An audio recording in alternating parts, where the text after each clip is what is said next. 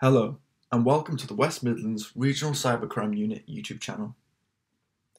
For the next few weeks, we will be covering Cyber Essentials, its key controls, and how to implement them.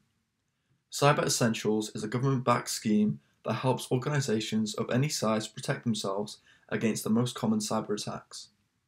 This week, we will be covering the first Cyber Essentials key control firewall configuration.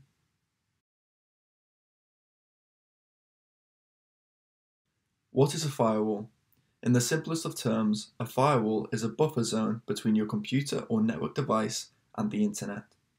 This reduces your exposure to attacks.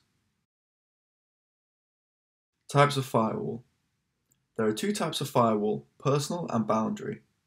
Personal firewalls are specific to the device you are on, protecting a single laptop for example. Boundary firewalls place a protected buffer around the entire network and are meant for more complicated setups with more devices. Why is it needed? Without a firewall, computers and networks are susceptible to attack. Firewalls shield your network from malicious or unnecessary traffic. They also prevent malicious software from accessing your computer or network over the internet. Firewalls are essential in keeping organizations secure, and they are also a key requirement in the Cyber Essentials certification scheme. How is it used? We will now give a technical demonstration of exactly how to turn on and configure a firewall.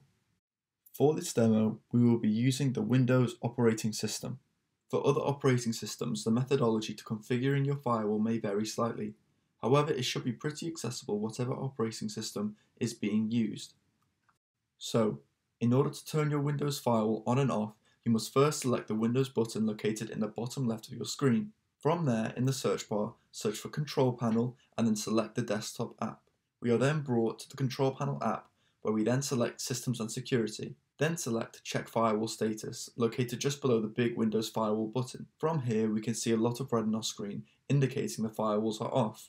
To turn them on, we select the Turn Windows Firewall On or Off button. From here, we turn both public and private firewalls on using these two buttons and select OK. We can now see that the red highlighted sections have turned to green and can see that the firewall is turned on. Cyber Essentials Scheme.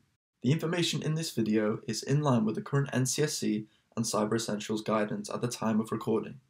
For the latest information on firewalls and Cyber Essentials, please check their respective websites.